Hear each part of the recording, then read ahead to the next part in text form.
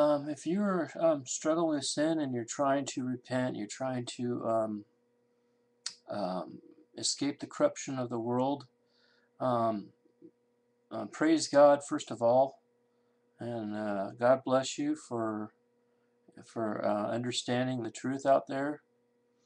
And um, but you want to make sure you take the right approach because there's ways to do this that's really wrong and it'll discourage you and really discourage you and that's what I did was I was trying to give up some sins and I couldn't. I would go for a couple weeks and not do something wrong or something and you know I was in bondage to certain things and I couldn't break free and I really couldn't break free and I just finally gave up. I said I'm sorry but that's just the way I am. I, I can't change and it was sad because I it took away my joy and I and I thought um, you know deep down inside I felt like I was um, not going to be saved you know?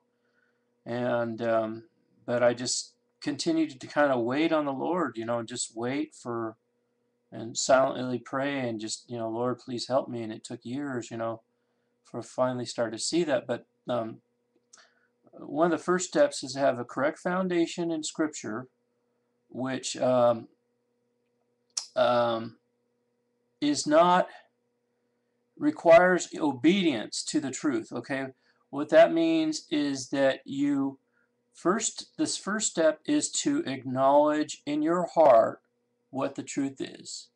For example there was one point in my life I thought it was just too hard for me to be able to give up my sins so I basically said tough. I'm gonna have to change you have to kind of toughen up, you know. It's like, you know, when you don't want to go to work, you get up and you go, I don't want to go to work, I don't want to go to work, you know. But you got to go to work, you know, so you got to change your attitude. That's one of the first steps. Uh, another step is that you have to read the scriptures, study it really carefully so that you understand the right, right way, you know. And uh, that's why I'm so adamant about um, the Bible is so important um, because it, it, it, if you're carnally minded and you're in bondage to sin, how, how are you supposed to escape unless you read the Bible? You're not going to hear directly from God in well you could I mean God could you know jump right in and you know change you right there in an instant okay? But I'm just saying that normally that that's not how it happens. It happens a slow process and you have to study scripture. And what you got to do is you got to um, understand the fear of God. You've got to understand what's at stake. You can't just get, say, well, I'll try, and well, you know, if you don't understand what's at stake, what's going on, uh, it, it, you'll never change. Um, the fear of God is the beginning of wisdom. So what you need to do is really fully understand the strong meat of the Word and not just be a babe in Christ and just kind of scrape at the surface. You need to kind of get deeper. And uh, um, now, I know a lot of people teach don't try to change under the power of the flesh. I don't teach that. I think that's a weak teaching.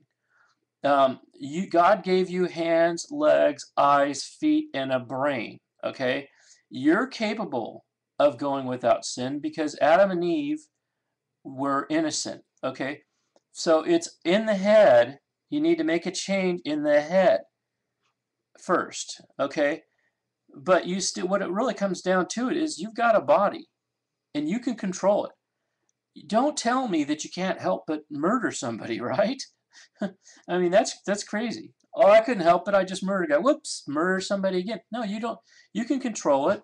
If you can, like for example, if you're you're smoking right now, you're you're chain smoker or something, and you um, had the urge to light up a cigarette, you just go ahead and gratify that urge. You light up a cigarette because you have the urge. But if you if you have the urge to smoke, you could just say, you know what, I, I'm not going to smoke right now. You have that ability to do that because when you're in certain situations where you're not allowed to smoke, you you go without smoking for a while. So um, so people can go without sinning. People can do that. Don't let anybody deceive you and think, oh, you can't do it under your own power and all this stuff. That's a lie. If you are a Christian, if you truly believe in Jesus, God is able to empower you. And from what I've shown in this what I've seen is it's all about the truth. It says in the scripture, the truth will set you free. So it has nothing to do with uh, God possessing your body and making you do the right things and stuff. It's about your heart. It's about what's in your head and your heart. Your love, and it's about loving the truth, and it's about not fear of God. It's about what's going on in the head. And you totally have that ability to overcome sin. Jesus, who was flesh and bone, just like me, see people go, don't, you know, don't, this stinking flesh is no good. No, your stinking flesh is not stinking. God, this is a temple of God. It's a temple of God. God deems this temple here worthy enough to inhabit it. And uh, uh, Adam and Eve were perfect. Jesus was, you know, until they sinned, Jesus was perfect, but he was in the flesh just like you and me, spirit filled. You know, one of the things I was doing when I was studying about Jesus was um, I noticed there's a parallel between Jesus and the Christian that all the aspects of Jesus seem to be identical to a Christian. And, and there's certain differences, but it's all kind of aligned. There's a certain order. It's kind of like that. And this is a parallel order, which is the Father and the Son, and then Jesus and us. It's sort of like that. And that relation between the Father and the Son is like our relationship with God too, or with Jesus. Okay, and uh, that um, what I found was one of the things I was looking at about Jesus that was missing was he was born of a virgin birth. You know, obviously my mom and dad are both human beings. God is not my dad. So I thought, okay, that's the difference between Jesus and us. Nope, that's not the difference. Because even though G Jesus is his only begotten son, because Jesus, you know, he was begotten of the Father, and nobody else is begotten in that same way Jesus was, we can still become sons of God. And that is because we can become born again. When I read, I studied about being born again, I thought, that's it. That we're born again. So when you're born again, you're like Jesus. And you can go without sin and you can overcome sin. Now, Jesus was resurrected, but we will be resurrected too. Some of the things about Jesus has not been fulfilled yet in us, you know but there's always a symbolism of that. For example, baptism is a symbolism of resurrection. Jesus was also baptized and filled with the Spirit. We were baptized and filled with the Spirit. Jesus read from the Scriptures, and Jesus studied the Scriptures, and Jesus quoted the Scriptures. So should we. All that stuff makes sense, doesn't it? So um, have confidence in God, have fear of God in the sense that not like I'm doomed, but like there's hope that you can overcome. Don't look at your own low self-esteem and think, oh, no, not I. Because through his your weaknesses, he is strengthened. He's looking for people that are lowly people to uh, to to bring up because that's his to his glory. And so me, I'm just the biggest loser. Um, can't even tell you how much of a loser I am. I mean, I'm just not. I'm not married. Never been married um, you know, I'm somewhat successful as far as like, you know, I've got a steady job, but um, not much else as far as friends. I've never a big popular guy or anything like that. Just not really that high of a self-esteem and all that. But I'm confident in God. It's because of God. It's not because of me. I'm just a loser, you know? And so um, it's better to be a loser for Jesus than to be a loser to the world like I was and just trying to please the world and then failing at it. You know, I mean, it's like kind of like that's the way I looked at it. Was like trying to be somebody and I never succeeded at being somebody in the significant in the world. Anyway, my time is going up, but um, don't. Oh, another thing is don't like um, be like this. Like people wait till New Year's Eve or Lent or uh, wait until tomorrow and all that. Now is the time to repent not tomorrow. That that is definitely carnal thinking. You'll never make it that way. You have it's about now. It's a change of heart now. Now you may not be able to have instant victory.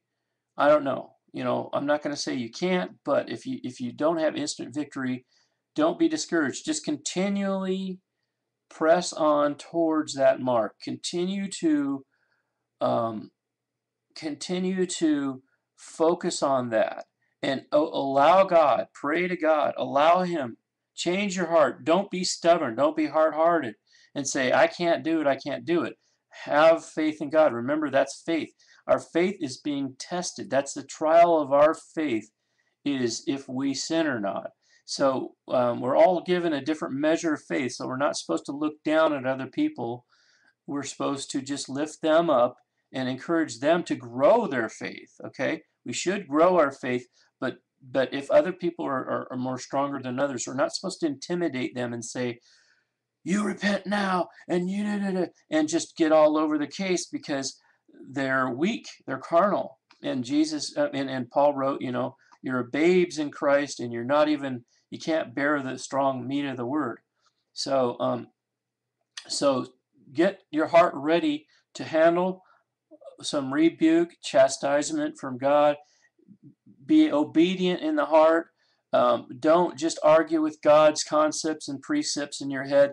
Put away that old conversation. It's that you know all this. But what about this? But what about that? But what about that?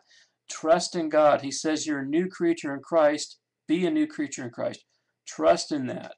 And that's you got to just take the step of faith and don't not look at the status quo and say I'm like everybody else. I'm going to be like everybody else. Abraham stepped out. You know, all those people stepped out from the rest of the crowd. That's what true faith is, is when you step out in faith and you say, I don't care what the rest of the world says. You know, people were telling me that I'd have diseases if I quit doing this. Uh, I didn't know what was going to physically happen to me. I went through all kinds of struggles thinking, uh, uh, and I said, you know what, Lord, I'm just going to trust you. I don't care what happens. I don't care if I die. I'm just going to trust you. And if if that happens, then it's your fault because you told me, you know, you told me not to do this, and I'm not doing it. So I'm going to face the consequences. And He's going to bless you so much for that. And uh, I hope I hope that you're able to overcome uh, overcome sin. And I'm sorry for if I've um, if you've been watching my videos and I seem to come across as being uh, intimidating or trying to uh, be, you know, forceful or whatever, anything that's of the flesh, you know, don't listen to that part of me. There's another part, there's a struggle going on, you know, with me too. But just listen to what the Bible says. I'm just pointing out to you what the truth is in the scripture. Leave it up to the scriptures between you and God and don't take it personal between me and you. I see stuff out there and it makes me ticked off in the flesh. And also, uh, you know, we can tend to judge people in the flesh. The flesh has already been uh, nailed to the cross.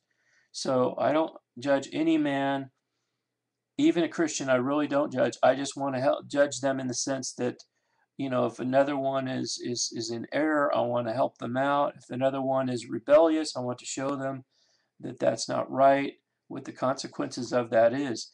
And so I'm not trying to attack anybody um, unless you're evil. You know, you're really like a false teacher or false something, and you're going to get it from me. I'm going to expose you for your um, your lies and stuff because you're that's you're talking about the flock. You know, you're trying to lead this flock astray, and that's not right. Okay, so if you don't aren't sure of the truth, don't teach it then I won't bother you. If you're going around telling people there's no such thing as hell, you're going around telling me the Bible is filth and blaspheming God's word, I'm going to attack you. If you go around saying that you can't lose your salvation no matter what, I'm going to attack you because you don't know what you're talking about. But if you're just a regular guy and you're seeking salvation, please do not be offended by what I'm saying because I'm just here to help you and I'm here for the people that are um, that are have ears to hear the truth and have earnest desire to um, please God, and that can only be done through faith.